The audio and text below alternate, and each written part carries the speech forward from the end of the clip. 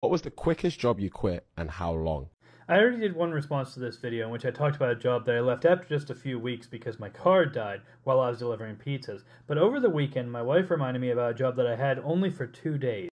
Some years ago, I got an offer for a courier job for a magazine that was basically just a bunch of ads for services and companies that help veterans or whatever. And so I went to the interview and I talked to the guy, and we had to meet at like a gas station somewhere down in Connecticut, and it was all very weird looking, and I wasn't entirely sure, but I got the impression that maybe there was something sketchy going on with this company, but like the thing I was doing wasn't sketchy, and I was going to get paid, and I was just like, eh, it's probably fine.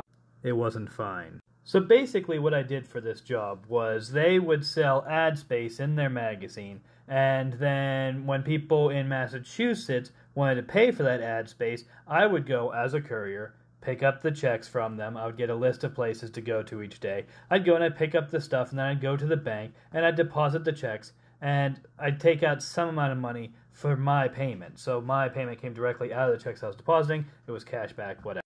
On my second day, I went to this shop in Agawam and had talked to them for a little bit, and they were asking me these questions. I was telling them that, like, I don't really know. I'm not the person that does the magazine. I'm just a courier. I'm here to pick up, you know, the check. If you have questions or you want to upgrade or whatever, you want to talk to the guy that you talk to on the phone. I don't know anything about that stuff. So they were like, all right, all right, fine, whatever. Cut me the check that they were paying for their ad space, and I left and went about my day. I finished my runs for the day. I dropped off at the bank. I took out my money. I went to uh, pick up my wife because we had plans that night. And before we got going, I got a call from the guy who runs that magazine asking me to go back to that shop that I just mentioned because they were talking about upgrading to a larger size ad.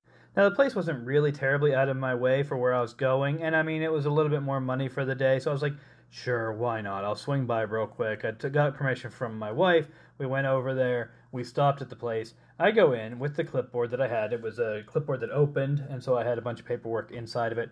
And they asked me, started asking me questions about the ad space, and I'm telling them again, I don't know anything about this. Like you're asking me questions about stuff that I don't I don't know. I'm I'm just a courier. And while we're talking, while they're asking about ad space and I'm telling them what little I have but directing them somewhere else, a police officer walks in and I'm like, "Hey, how's it going?" And he starts asking me what I'm doing, and I tell them, "Well, I'm here talking to these people, uh, picking up a check."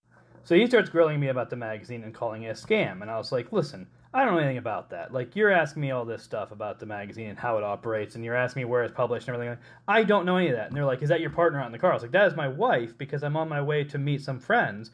That person isn't involved in this magazine at all. I'm barely involved. I'm literally not even employed directly by the magazine. I'm a freelancer who is a cur- providing a courier service right now. He doesn't believe me. He keeps pressing. I keep explaining the same thing over and over again. He's making all these accusations. I'm telling him, listen, are you going to charge me with something? Because I haven't done anything illegal. I'm here picking up a check that they are apparently buying a thing. I don't know whether or not the thing they're buying is a scam. That's not my business. I have no idea what's going on there. And I mean, maybe, I don't know, maybe there is a legal problem with that. But we're going back and forth about it, and finally he tells me, fine, you can go. He ver- he manages to verify that I am just a courier, that I'm not the person running the magazine. He calls the guy who runs the magazine, and it clearly isn't me because I'm not the one talking, and my wife isn't the one talking on the phone. So he realizes that I'm probably telling the truth. And he tells me I can go, but he tells me I'm never allowed back in Agawam again, which I'm pretty sure he didn't have the authority to do. But as it happens, I have never been to Agawam again. I've just never had any reason to go there, I guess, since. At any rate, we leave there. I leave. I'm like, okay, fine. There's no check. This is this was a sting to try to catch the other guy who's running this magazine that apparently is a scam. Uh, but it has nothing to do with me. I leave. So I'm on my way out, and I get a call from the guy who runs the magazine, and he is throwing a fit. I mean, he's furious because they've just called him and they're accusing him of all these crimes, and they're saying they know his bank account information, and he's accusing me of giving them his bank account information, which I didn't do. I kept telling him I didn't do that. Like I promise, I didn't do that. And he's like, "Well, how else would they get?" it? I was like, "Do they actually have it? Like, did they tell you the numbers? Do you know that they that this threat is real? Like."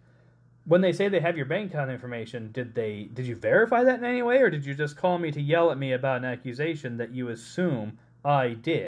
He didn't really have a good answer for that. We went back and forth a little bit, and finally I was like, "Listen, I I'm I'm done with this." And he was like, "No, no, look, you know, I, will pay you more. You know, we'll we'll sort this out. I won't send you to Agawam anymore. I'll, I'll try to vet people more carefully." I was like, "No, no, no, no, no, no, no, no."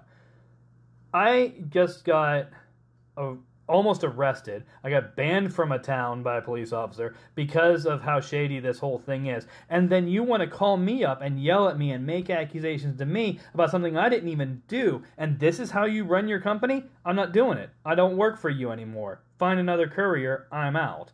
And so we argued about that for a couple minutes till I hung up on him, and I never talked to him again. So yeah, I guess that was the shortest job I ever had, the fastest I ever quit a job, and uh, only the second scan that I ever worked for. So you know, whatever.